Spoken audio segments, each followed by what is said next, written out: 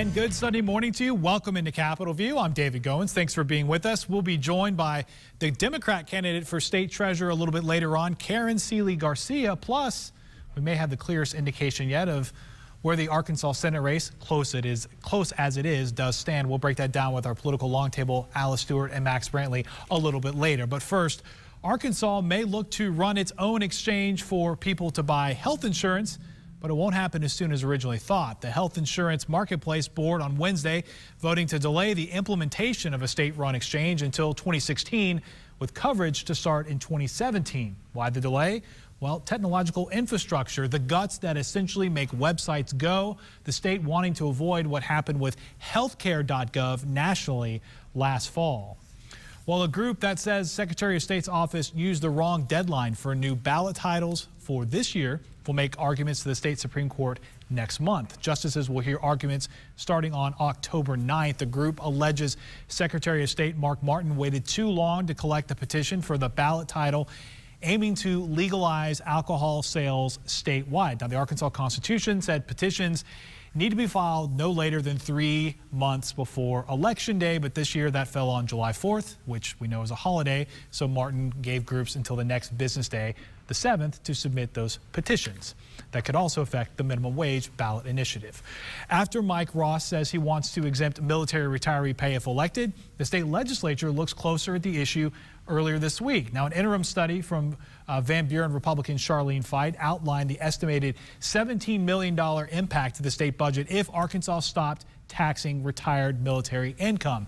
Now, supporters point out that Arkansas is the only state in the South and really from the West Coast across the uh, to the East Coast, uh, at least on the southern portion of the country, that doesn't offer some form of exemption for military pay. The state Supreme Court throws a suspended judge off the bench permanently. Judge Mike Maggio learned his fate on Thursday when the High Court banned him from being a judge for life and also stopped his $138,000 a year state salary. Now, Maggio was suspended back in the spring after disparaging remarks surfaced that he'd made on a bulletin board towards women and minorities and also commenting on the private adoption of a Hollywood film star. Now, the next stop the governor, or excuse me, the next step is for the governor to replace Maggio in Faulkner County.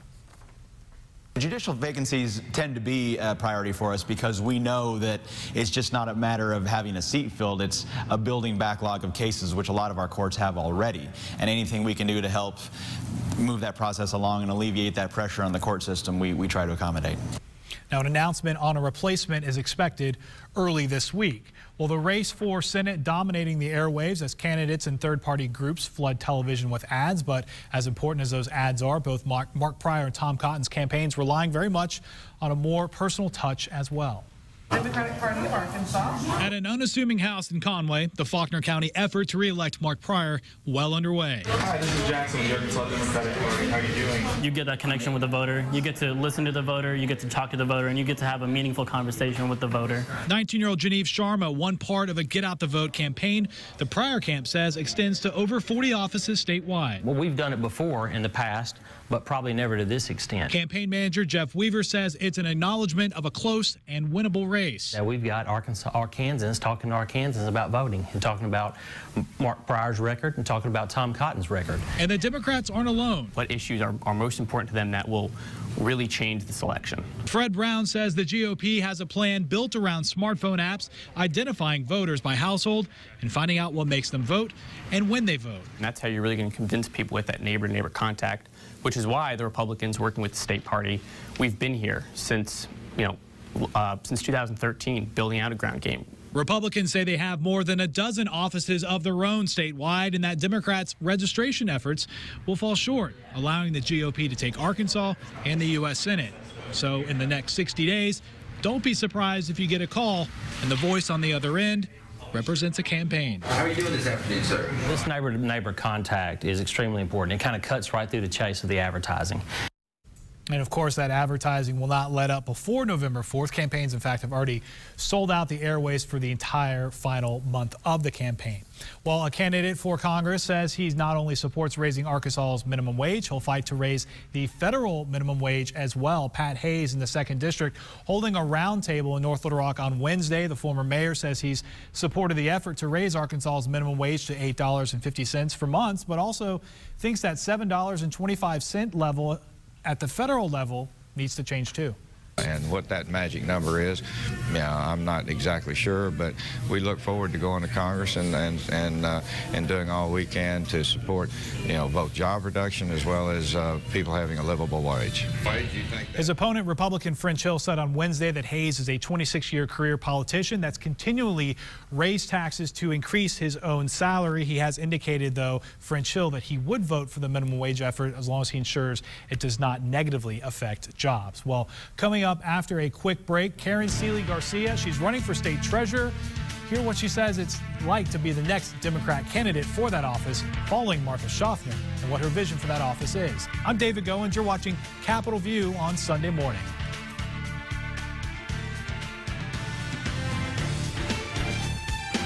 At home, Cotton says one thing, but in Washington, he does another. And there's a record of it. Cotton voted to cut Social Security benefits and raise the retirement age to 70. On Medicare, Cotton voted to replace it with a voucher and make seniors pay thousands more. We can't trust Tom Cotton to protect seniors because the record shows he hasn't. The Democratic Senatorial Campaign Committee is responsible for the content of this advertising. I'm Patrick Henry Hays, and as mayor, we attracted all kinds of businesses to North Little Rock, and that means all kinds of jobs. We got rid of unnecessary regulations, so it's easy to move here. And by creating incentives to attract big companies like Caterpillar, we able to attract lots of smaller companies like Blue Bell Ice Cream. Now, Congress should be doing the same thing. That's why I approve this message. uh, can't forget about the jobs from the ballpark. Come on, Harper, let's go with ball game, man. Aladdin Rugs and Home Decor is now open in West Little Rock, and with our recent North Little Rock expansion, we have hundreds more rugs in stock. Browse contemporary and traditional rugs in all shapes and sizes, starting at $99, along with the latest styles and trends in home decor. You can find fun and funky or elegant and beautiful all in one place with excellent customer service. New designs of wallpaper are in stock. Aladdin Rugs and Home Decor in North Little Rock on JFK, and our new location at Markham and Chenal in West Little Rock behind Luby's. Come by today. Hi, I'm Missy Gibson. At John Gibson Auto Sales, we offer the newest and cleanest inventory of any buy here, pay here dealer in the state. We have financing options regardless of your past credit history. You can view online or in person over 800 cars, trucks, SUVs, motorcycles, ATVs, boats, trailers, and RVs. My family and I would like to invite you to 1425 Airport Road in beautiful Hot Springs for a test drive or check out our website at johngibsonautosales.com and we will have your purchase ready when you get here. You're watching Capitol View, Sunday morning talk focused on the political scene in Arkansas. And welcome back. If you've been watching in recent weeks, you've noticed we're working to bring you as many candidates for statewide office as we can leading up to November 4th. This morning, we're looking at one of the more recently embattled constitutional offices over the last couple years. State Treasurer Karen Sealy Garcia is a Democrat seeking that seat, and she joins us this morning. Thank you so much. Thank you for this opportunity. Absolutely. Okay, so let's start. This is kind of where we start for, for all these statewide candidates. Um, treasurer, I know you're a certified public accountant. There's a big difference between being a CPA and then deciding to jump into statewide politics. Talk to me about why you decided to get in this race. Well, I would be happy to. I am a professional accountant, not a professional politician. Mm -hmm. As you said, I'm a certified public accountant for 30 years. And the last 26, I was with a Fortune 100 company, Weyerhaeuser. Mm -hmm. And in Weyerhaeuser, I earned a reputation as a no nonsense accountant. And the company sought me out to send me across the world, literally at locations, to implement financial management systems, internal controls, train the staff. I have personally had responsibility for multi-million dollar budgets, billion dollar budgets, and safeguarding the company's assets and extensive experience supervising, and financial management. I've been doing this job in the private sector, and it's exciting to me as a professional accountant to be able to take this skill set and take it to the state capitol and bring reform and restore the trust to the state treasurer's office to all the people in Arkansas. You mentioned trust on your website. Really, your issues, uh, two things, that both dealing with ethics. One's a business code of ethics, and says a supplier code of ethics. Is that really what this this race is about? Restoring trust in, an ethical way, in, in, light of what we saw with with Martha Shoffner a couple years ago.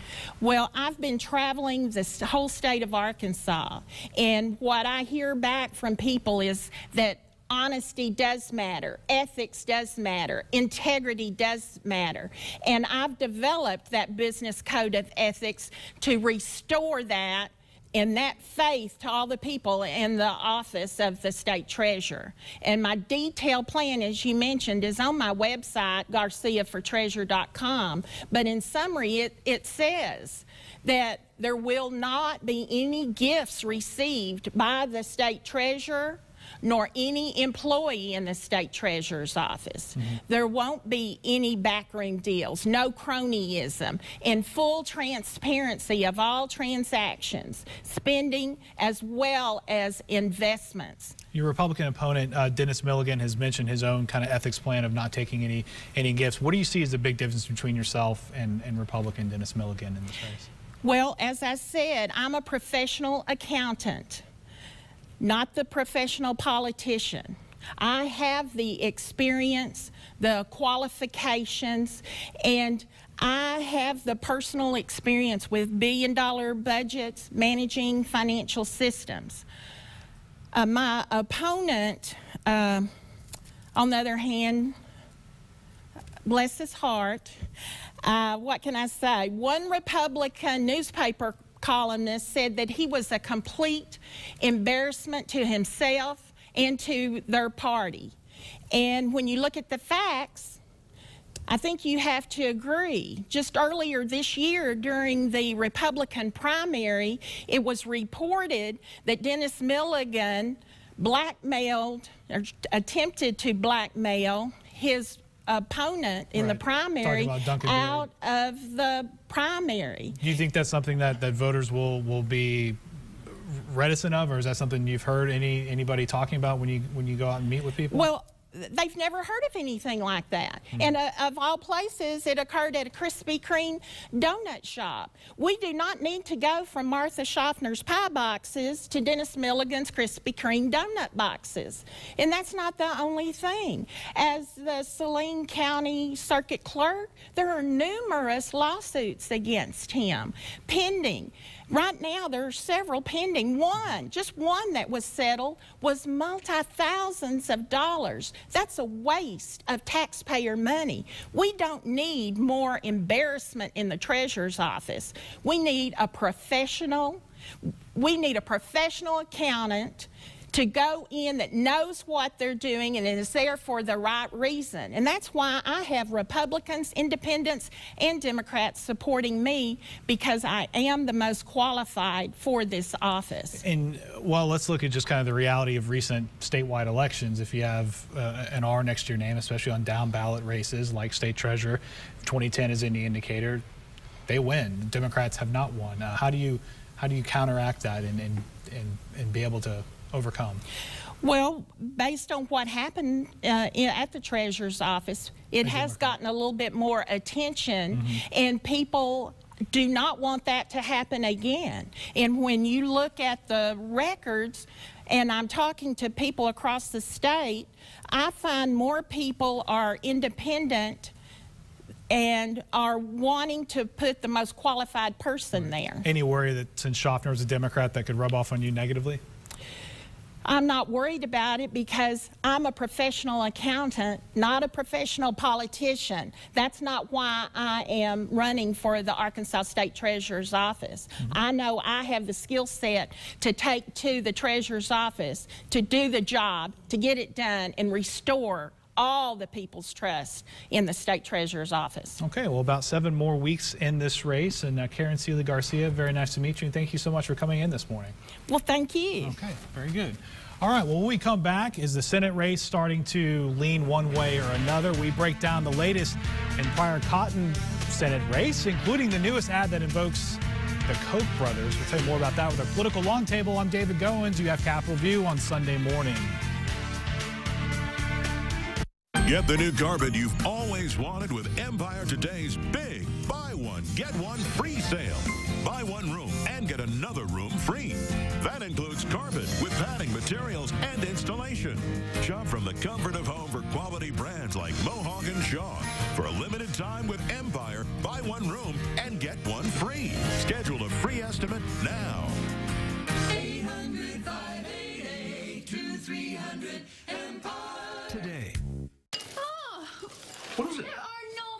Marshmallows in this box of Lucky Charms. Huh. Weird.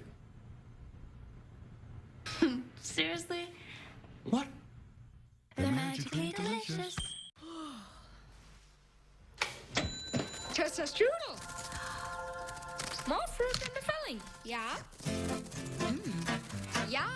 Warm, flaky, gooey. Toaster strudel. Now with more fruit. On TV, Mark Pryor talks about the health care law he helped pass. What Pryor doesn't say is that law was Obamacare, or that it cuts over $700 billion from our Medicare and will cut benefits seniors rely on. Obamacare meant threatened insurance plans, higher premiums, and broken promises. Are we going to be able to stick with our plan? The answer is yes. Mark Pryor. What he doesn't say tells us everything we need to know. Crossroads GPS is responsible for the content of this advertising. Here's something fun to do with hot dogs. Make easy crescent dogs. Pillsbury crescent rolls. Make dinner pop. What should we do for dinner? Pizza. With a little help, it's easy to whip up a great meal on a weeknight. Pepperoni on your side. More pepperoni. Cheers. Pillsbury pizza crust. Make dinner pop.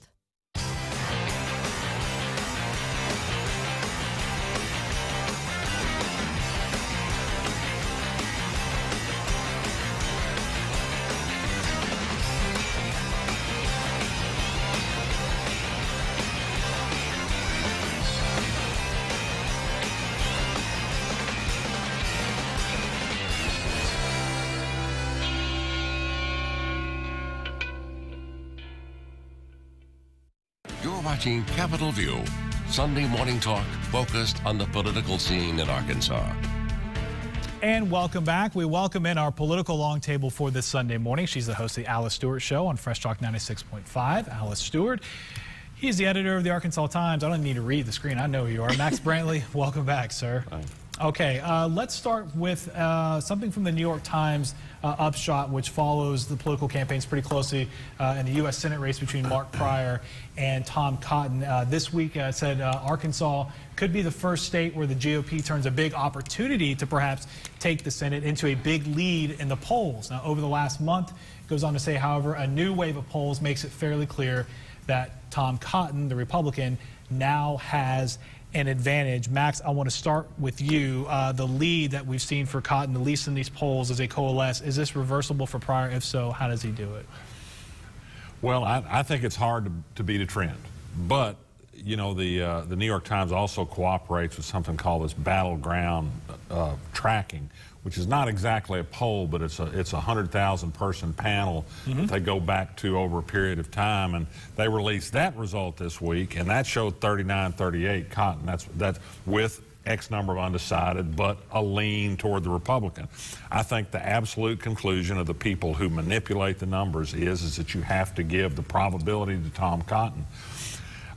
I think if there's any way to turn it around, it ought to be on issues. And, and the issues are very simple. Uh, and, and Mark Pryor is trying to prove it with specifics. I don't know if it's working. Tom Cotton is absolutely an advocate for smaller government and for less spending. In Arkansas, a poor state, that inevitably translates into reductions in programs, which all have their supporters.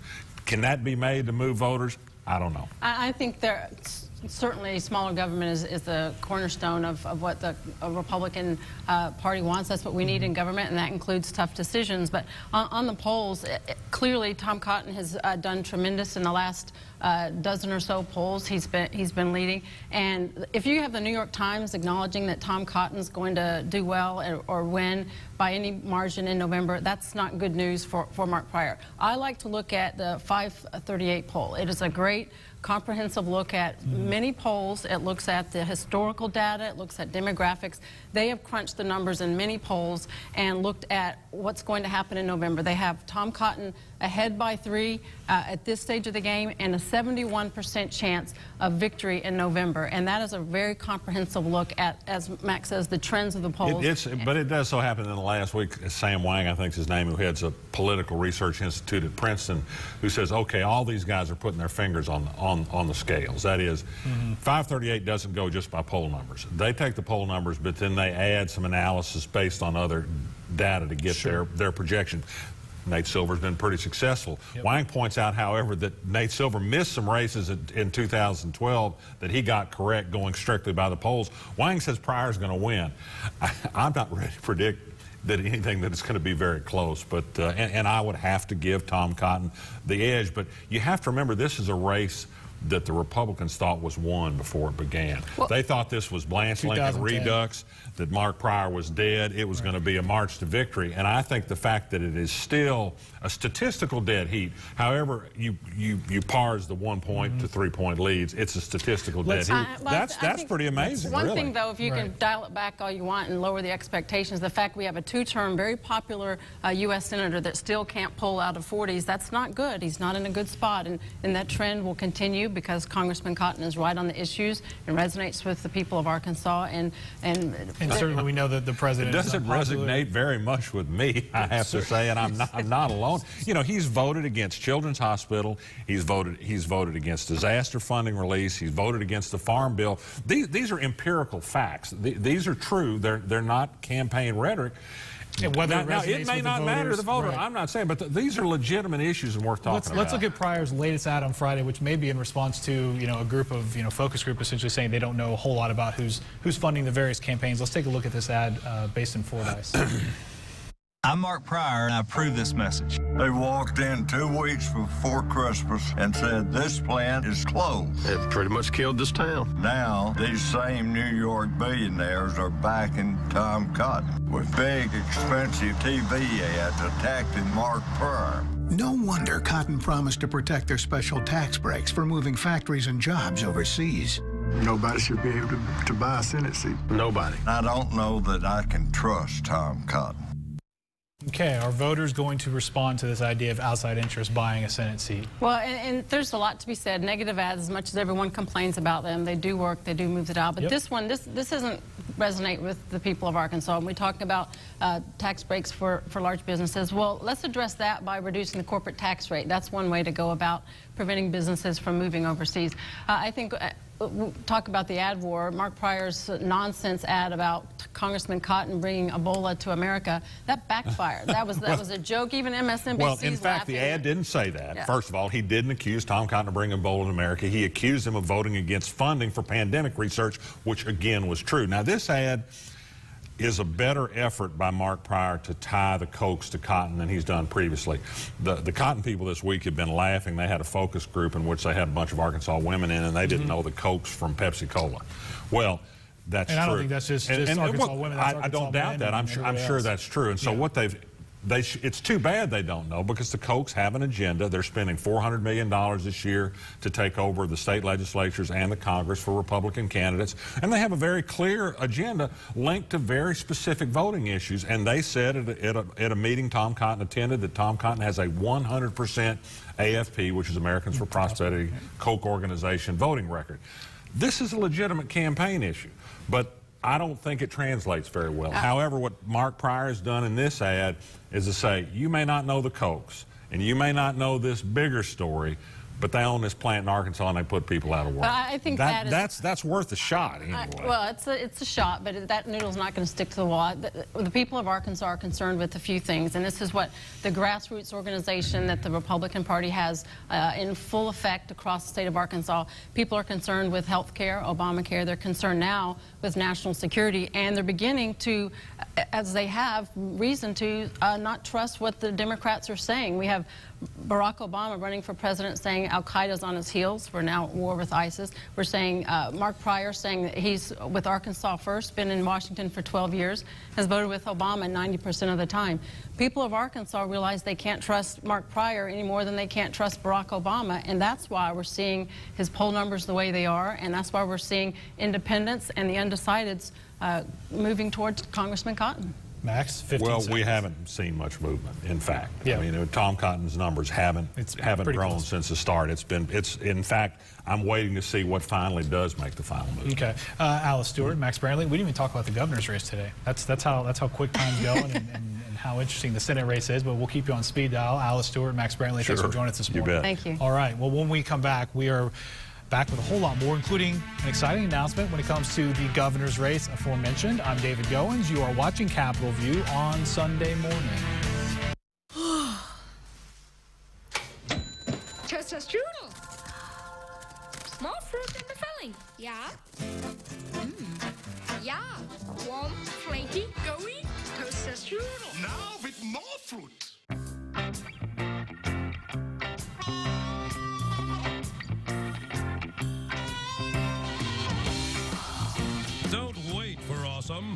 Totino's Pizza Rolls get you there in just 60 seconds. Behind a campaign that's been called a distortion and mostly false, Congressman Cotton is hiding a disturbing record. Cotton voted to raise the eligibility age for Medicare to 70. Cotton even voted to raise the eligibility age for Social Security to 70. Mark Pryor wrote legislation to stop those who'd raise the Medicare eligibility age. He protects Medicare and Social Security for all of us. Senate Majority PAC is responsible for the content of this advertising. You're watching Capitol View, Sunday morning talk focused on the political scene in Arkansas.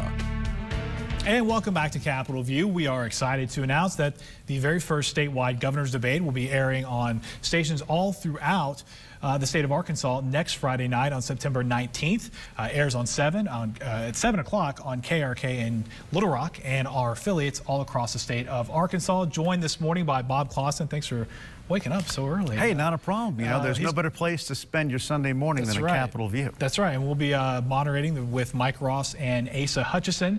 Uh, and that will be uh, obviously an interesting race because this is the first time, or interesting debate because this is the first time either one of them have sat down for a debate. They've done forums at different organizations, but really a chance for us to, to, to get down to some of the key issues. And it's one of those things where, I mean, by now, the voting public has been bombarded with the ads, both from the campaigns, from special interest groups, Mm-hmm. and a lot of folks, you know, talking to them, you've talked to them, too, kind of getting a little turned off. This is a great opportunity to sit down with the candidates, talk to them the, about the issues, and hopefully uh, get the voter out there better informed than they already are. And it's going to be kind of a, I guess, a casual environment. You know, it's, it's not going to be, uh, you know, what, futons and fondue, but it's, Right. it's going to get it's going to get dicey, and we're going to have them mix it up a little bit, find out why people should vote for them. Well, a lot of times you see a debates and it's the podium and the moderator, and Right. you know both of us being uh, you know involved in this, it'll be an opportunity to kind of be almost sitting at a table, not not you know probably dissimilar from what you see on Capitol View on Mm-hmm. Sunday morning, but but certainly a, a longer format and an opportunity to really delve deeply into to those key issues. Yeah, because a lot of folks are used to the thing. Okay, we're going to talk about